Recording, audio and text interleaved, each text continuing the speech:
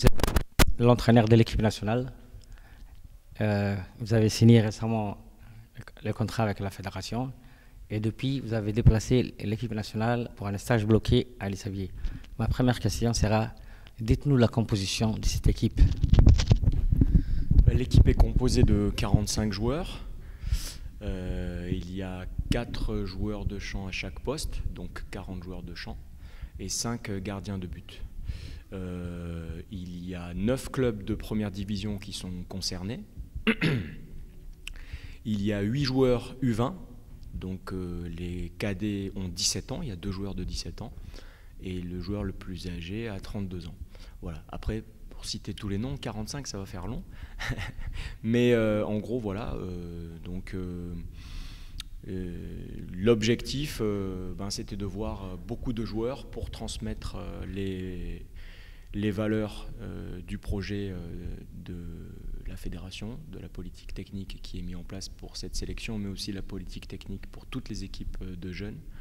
Donc je voulais qu'un maximum de joueurs soient concernés et je voulais aussi qu'un maximum de joueurs puissent comprendre et assimiler euh, les principes de jeu et les méthodes que nous allons euh, transmettre. Chaque soir, après vos séances d'entraînement, nous allons faire un point de presse et aujourd'hui. C'est le premier. Donc aujourd'hui, c'était quoi le travail cet après-midi au terrain?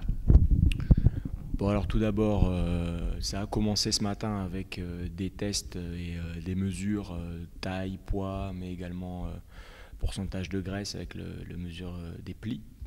Il y a eu ensuite de la vidéo. ce qui est important, c'est une forme d'entraînement aussi en salle. Les joueurs sont d'ailleurs très attentifs et malgré le nombre élevé de joueurs présents, ils sont très disciplinés, donc c'est très intéressant. Et donc ensuite, cet après-midi, on a vraiment commencé euh, le terrain avec euh, tout un tas de tests, euh, de batteries de tests sur l'endurance des joueurs, leur, vitesse de démarrage principalement.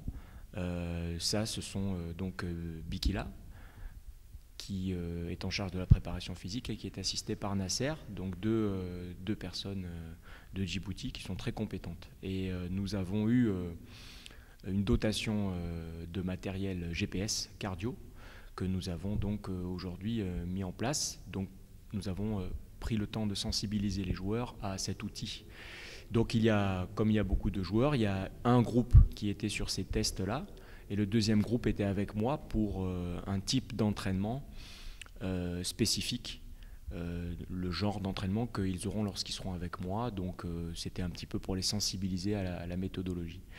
Et demain, ce sera l'inverse. Le groupe qui faisait des tests euh, athlétiques fera l'entraînement avec moi et le groupe qui faisait l'entraînement avec moi passera les tests euh, athlétiques.